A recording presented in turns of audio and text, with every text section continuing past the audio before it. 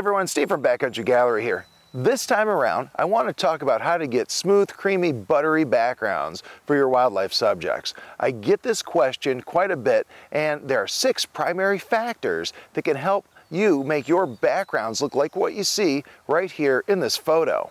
Now, before we begin, I want to make a clarification. Many of the techniques in this video involve reducing depth of field since this has the side effect of making the backgrounds softer. However, just to be 100% clear, Depth of field actually refers to the zone of acceptable sharpness in an image, not the quality or amount of background blur. Still, there's a definite correlation between the two since the shallower the depth of field gets, the less detail we see in the background. So with that footnote out of the way, let's go ahead and get started.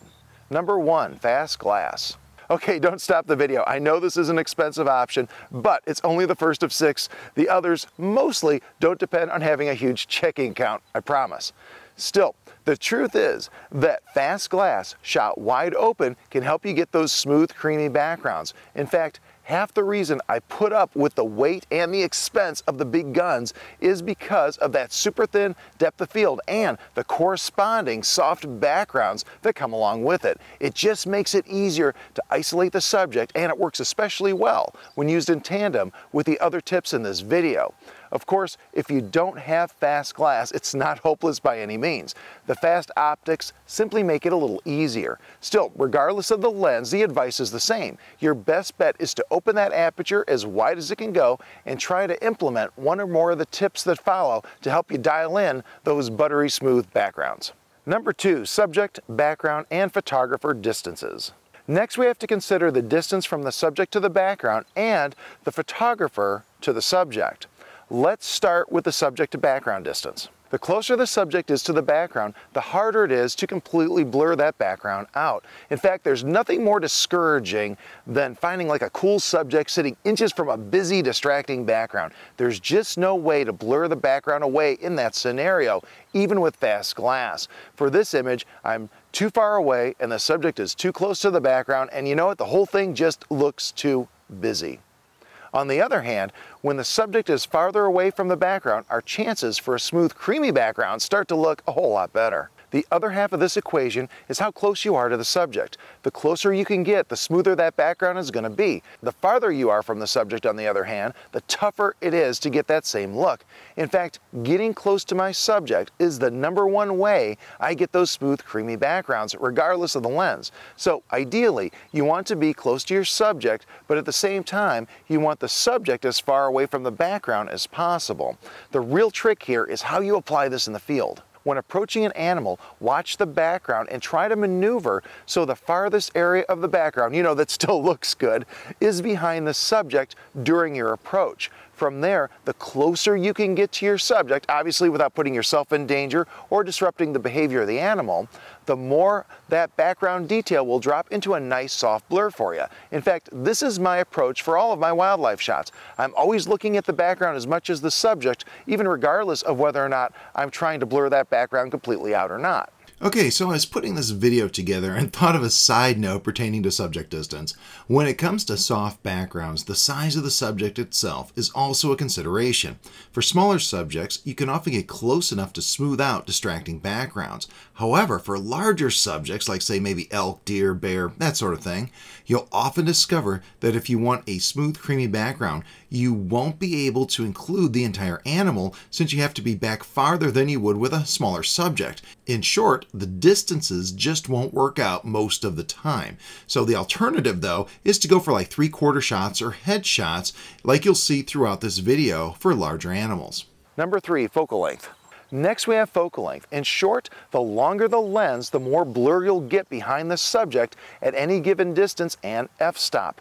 This means if you have a 600 millimeter focal length and are happy with the shot, don't continue to approach the subject and use less focal length. Stick to the distance for 600 millimeter.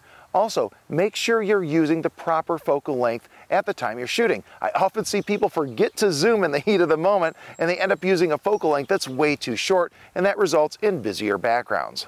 Number four, get low.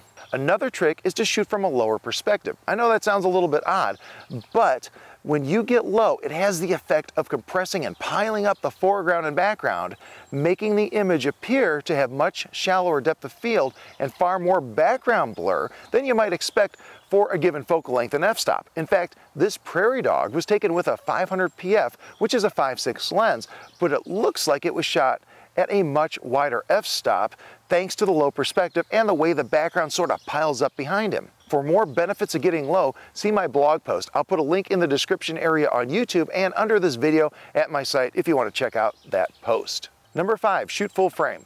Okay, this is another potentially expensive option, but it works well even better than fast glass in many cases.